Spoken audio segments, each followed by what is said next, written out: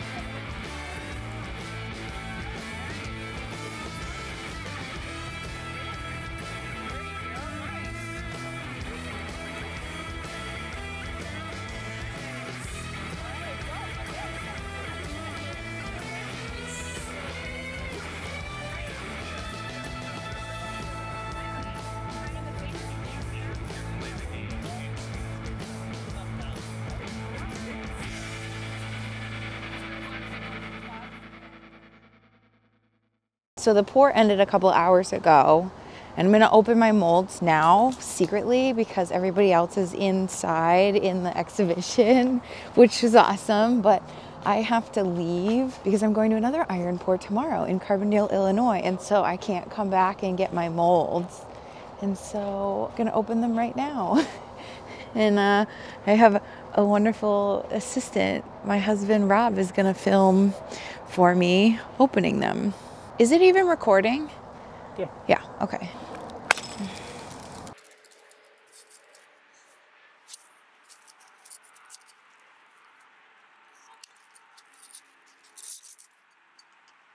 Okay, we're gonna see. Oh, I should open it this way.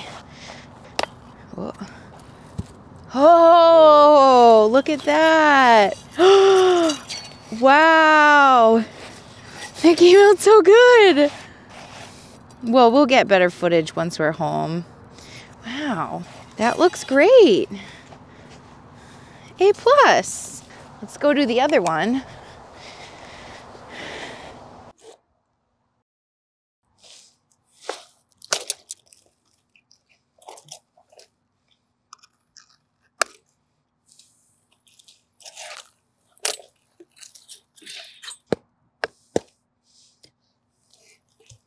Wow. Yeah, they came out great. They both came out. Nice.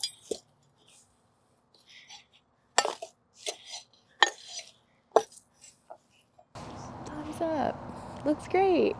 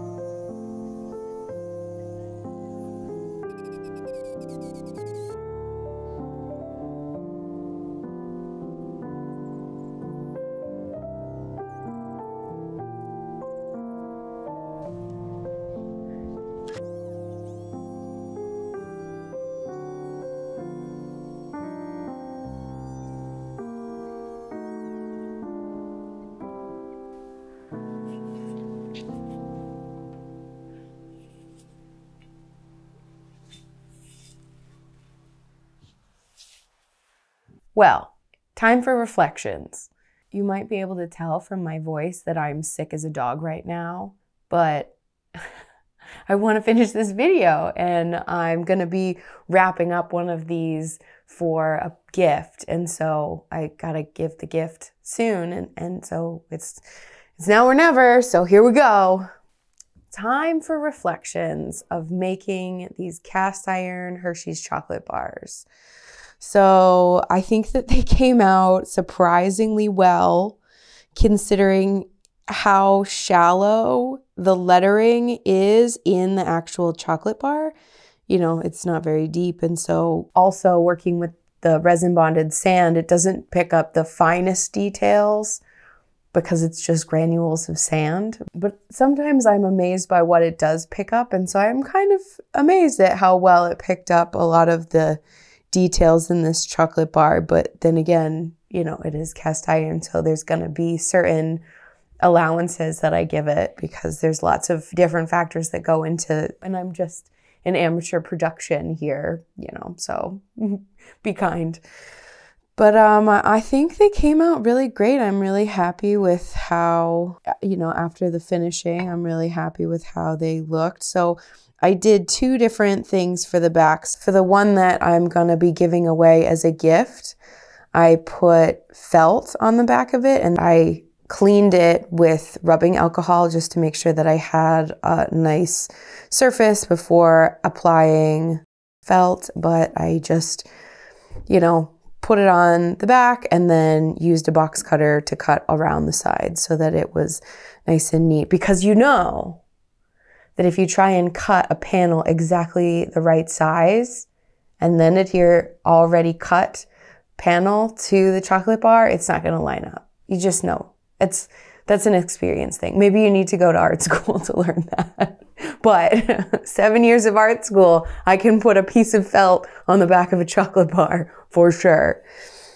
Anyways, yeah, I'm happy with them. And then the one that I'm keeping for myself, I just put these little um, rubber feet on. So it'll, you know, it it shakes the table. It's so it's so grabby. Because yeah, this definitely would scratch your table. I definitely would like to have more detail in the lettering. And so I'm interested in making more of these. I'm going to try and create my own pattern instead of actually using a Hershey's chocolate bar, which I know is always like really intriguing because I'm making the mold off of the actual object.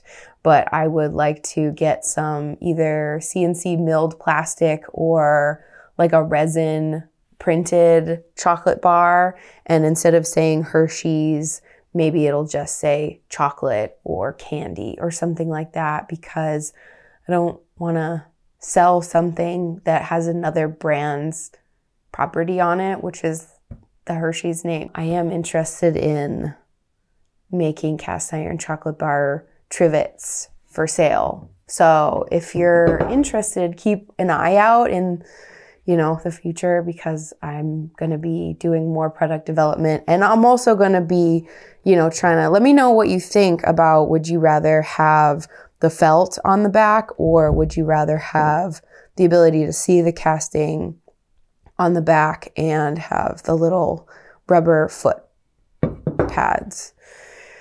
But um yeah, do you want one? I I'm happy. I'm happy with the way they came out and I'm looking forward to making more cast iron food in the future. So stay tuned.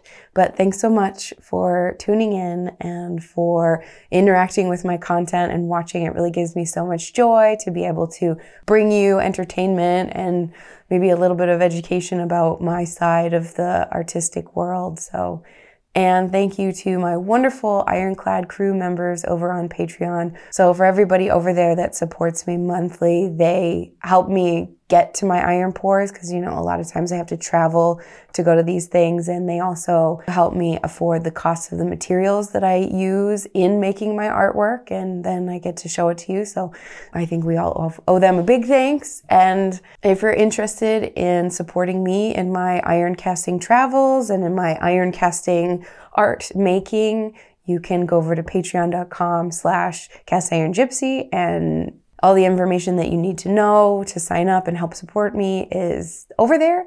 And in return for their support, my Patreon members get, you know, a monthly check-in where I explain everything that's happening every single month of every single year of my life if they're if they're interested but also they get um, the voiceover versions of all the videos. And so if you were watching this video and you're like, wait, I wish that she was explaining what she's doing because I don't understand what type of sand she's using or like what the mold making process is or what's the thought behind it. You know, that's all available in the voiceover versions on Patreon. And so I definitely really enjoy making that available to you as well if you're interested. And uh, it's just as little as a dollar a month And believe me, for your $12 a year to support me, you know, it really does go a long way. So thank you, and I look forward to seeing you in the next one. Okay, bye. Mwah!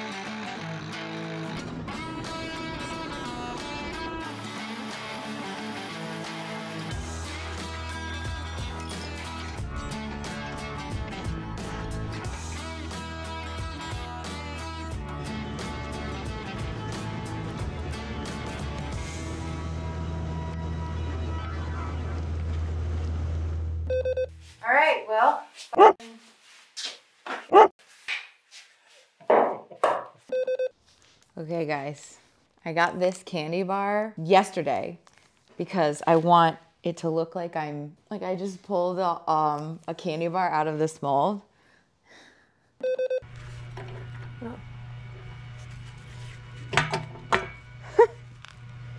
I could have sworn that it was gonna fit. I will tell you that for the ones that I molded, I went with the like cheaper, but this is the dark chocolate because if I'm gonna eat it, I'm gonna treat myself, and um, I'm worth it. So let's see if I can make this look convincing. I'm also excited to eat it. Like I don't think I have to put the whole. Is it obvious because it's like a different color. Because I got the dark, because I was worth it, remember? Anyways, I'm just gonna eat it. I bet nobody will notice. Do you ever have, do you have a friend that's a slider? They like, you'll be like, no, never mind. I won't even talk about it. But you know, you're like, they like slide things across the table. Why do you do that? It just drives me nuts. Anyways, um, I sure I got the milk chocolate. Look at me a different color. Anyway, you can come closer. It's really good though. No.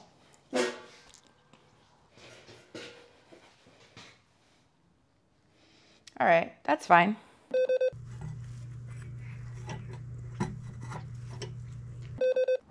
Do you think it's convincing? Do you think I fooled them? If I take the chocolate out of here and just eat it? We'll see. I don't want to stop eating this chocolate. This is a bad idea. I'm gonna put it, I think I'm gonna hide it where the camera can't see.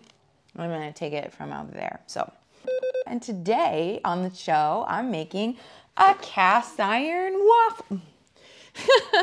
what am I making? This one is a chocolate bar. Like I shouldn't be eating right now. So naughty. Woo!